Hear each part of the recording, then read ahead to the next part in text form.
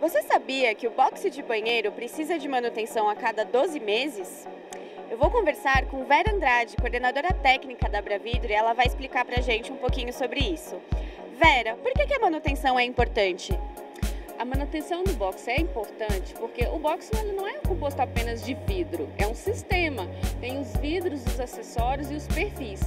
E os acessórios, como roldana, os batedores superior, inferior, puxador, a guia, os amortecedores no fechamento da porta, eles se desgastam ao longo da utilização e precisam ser trocados para manter o box funcionando e seguro ao longo do tempo. E o box de vidro tem validade? O sistema precisa ser trocado depois de um período? Não, desde que ele passe por manutenção preventiva a cada 12 meses, o sistema vai permanecer seguro. É indeterminada a validade, não tem um período determinado. E o que, que o consumidor deve ficar atento para saber se ele precisa de manutenção no box dele?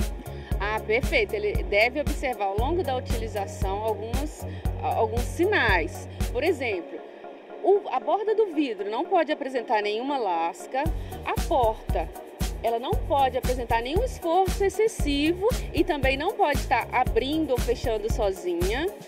Quando abre a porta, o puxador dela não pode encostar no vidro fixo essa porta também aberta, ela não pode, o vidro da porta não pode encostar na parede, tá? ela tem que estar tá amortecida ali e parada pelos batedores. No fechamento, tem borrachas que é, protegem o vidro para ele não encostar no perfil. Tá? É, essas borrachas têm que estar tá no lugar, tá bom? É, o vidro também não pode encostar no chão, não pode ter nenhum atrito com material mais rígido. Essa guia que segura a porta aqui, ela não pode estar nem muito ressecada, nem muito flexível também. Isso tudo são sinais de que o sistema precisa passar por manutenção, mesmo estando fora do período, né, não tendo vencido os 12 meses. Essas dicas e outras o consumidor encontra no site do programa de olho no box que a Bravido desenvolveu. Lá também ele pode baixar o manual de utilização, conservação e limpeza do box. Tá? Então tem essas dicas e muitas outras para o consumidor é, avaliar o sistema e para ele permanecer seguro por tempo indeterminado. E quem deve fazer esse trabalho de manutenção? Apenas o profissional qualificado.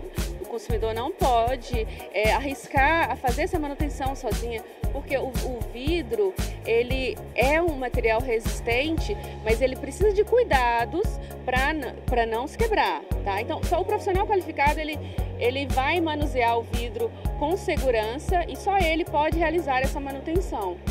E no site do De Olho no Box tem uma área para a gente localizar um profissional? Sim, no mesmo site que ele baixa os materiais, ele tem uma aba que chama Encontre um Vidraceiro, que o consumidor coloca lá a sua região e vai encontrar uma, vai é, aparecer uma relação de vidraçarias mais próximas da casa dele ou do, de onde estiver instalado o box. Entre no site do De Olho no Box, é www.deolhonoboxe.com.br. Lá você encontra diversos materiais, um conteúdo incrível para você cuidar do seu box e ele ter uma longa vida.